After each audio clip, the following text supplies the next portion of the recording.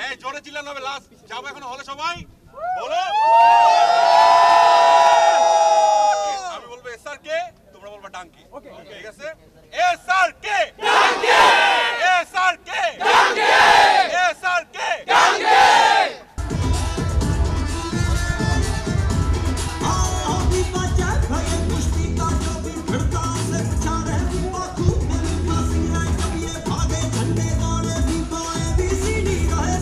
ওদের সাথে দেখা ট্রু এসাকেন্সদের সাথে দেখার আসলে অন্যরকম একটা আনন্দ আছে। And thanks to Peacock entertainment যে তারা আমাদেরকে হেল্প করছে এবার অনেক বেশি। এবং অন্য মানে এইটা হচ্ছে আনন্দ যে সবাই মিলে একসাথে মুভি দেখার।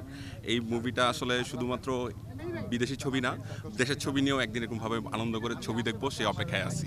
আসলে ইমোশন আমি এক ওয়ান ওয়ার্ড যদি বলি, তাহলে একটা প্রপার ইমোশন আজকে ইমোশনাল একটা রাইড দিব। আমি যত সিনেমা দেখছি সিনেমার সিনেমার ইতিহাসে সেরা মুভি উইদাউট এনি ডাউট সিনেমার ইতিহাসে সেরা। মাইন্ড ব্লোয়িং অভিনয় করছে শাহরুখ এক কথায় মাইন্ড ব্লোয়িং ওর ইমোশনাল সিনগুলো যেভাবে ফুটাই তুলছে সবাই আসলে খুবই ইমোশনাল হয়ে গেছিলাম ছবিটা দেখে। দেশপ্রেমের জ্বলন্ত উদাহরণ এই ডাঙ্কি আসলে সবারই দেখা উচিত।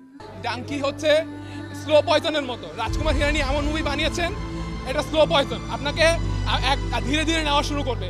এখন ডাঙ্কি আপনাদের সবারই দেখা উচিত। কারণ যারা প্রবাসী আছেন তারা অবশ্যই দেখবেন।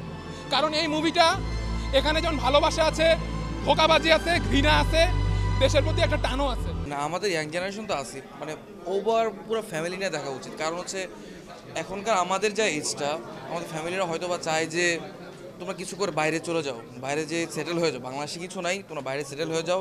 যেভাবে হোক তোমরা যাও। বাট যাওয়ার পর আসলে কী হয়? এটা তো ওরা কখন দেখতে পাবে? প্রেশারাইজ করে, ঠিক আছে, তোমরা যাও যাও, যাওয়ার পর দেখা লাইফ অটোমেটিক সেট হয়ে যাবে। বাইরে যাও লন্ডন যাও আমেরিকা যাও অটোমেটিক সেট হয়ে যাবে। বাট এই মুভি দেখার পর আই থিঙ্ক ওরা বুঝতে পারবে যে আসলে বাইরের লাইফটা কতটুকু কঠিন। পাঠানের পর জওয়ান, জওয়ানের পর ডাঙ্কি।